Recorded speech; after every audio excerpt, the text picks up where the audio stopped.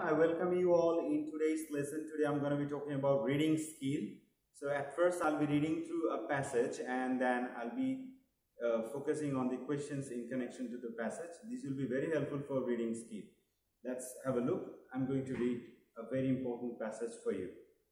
So the passage starts like this. A World Guide to Good Manners, How Not to Behave Badly Abroad by Norman Ramshaw. Traveling to all corners of the world gets easier and easier. We live in a global village, but how well do we know and understand each other? Here is a simple test. Imagine you have arranged a meeting at 4 o'clock. What time should you expect your foreign business colleagues to arrive? If they are German, they will be bang on time. If they're American, they'll be probably be 15 minutes early. If they're British, if they're British, they'll be 15 minutes late. You should allow up to an hour for the Italians.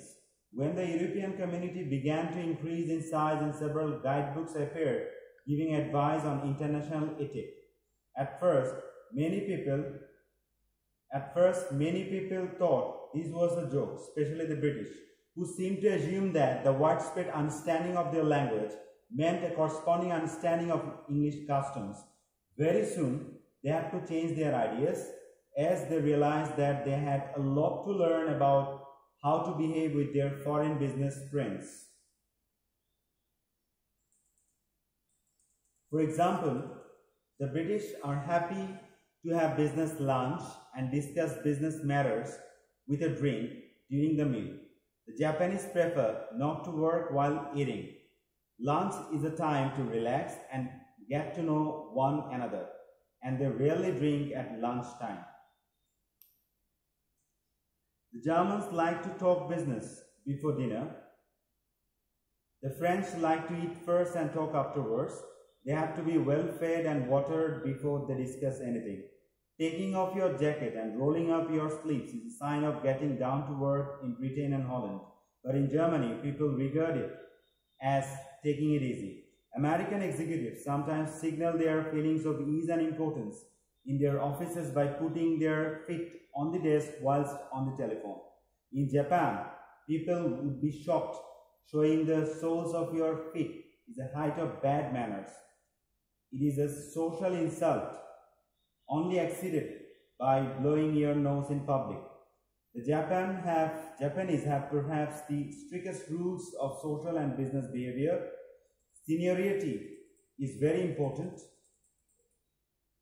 and a younger man should never be sent to complete a business deal with an older Japanese man. The Japanese business card almost needs a rule book of its own.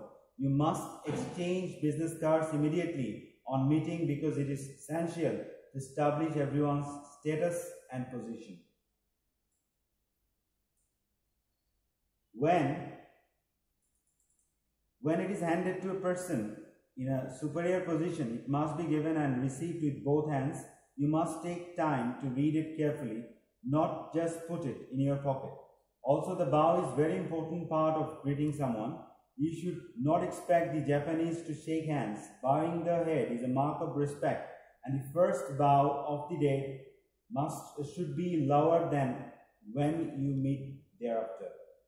The Americans sometimes find it difficult to accept the more Jap uh, formal Japanese manners. They prefer to be casual and more informal as illustrated by the universal have a nice day. American waiters have a one word imperative, enjoy. The British, of course, are cool and reserved.